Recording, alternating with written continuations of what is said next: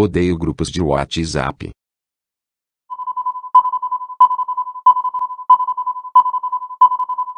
Você viu aquele irmão que fica mandando mensagem assediando as irmãs no grupo de WhatsApp? Vou bloquear quem mandar mensagem feia no grupo. Não vi mensagem nenhuma. Aliás, não participo de grupos de WhatsApp. Não te conheço e nem frequento a sua igreja. Mandou mensagem por engano. Preste atenção para quem manda mensagem.